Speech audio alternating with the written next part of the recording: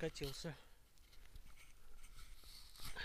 на, на запад по третьему переходу через Рандык.